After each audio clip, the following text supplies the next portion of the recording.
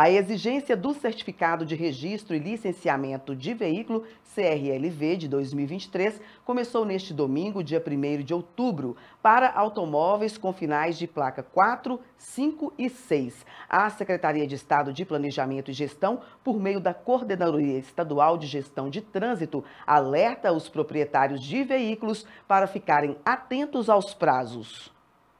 Para ter acesso ao CRLV 2023, o Imposto de Propriedade de Veículo Automotor, o seguro obrigatório anterior de 2021, a taxa de renovação do licenciamento anual do veículo e eventuais multas devem estar quitados.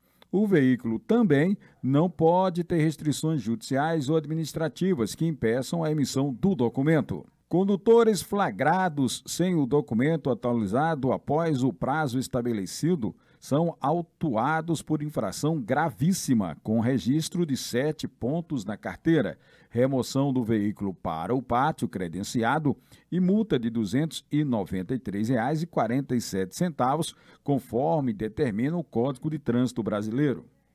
No site trânsito.mg.gov.br, é possível verificar se existem pendências e também imprimir o CRLV.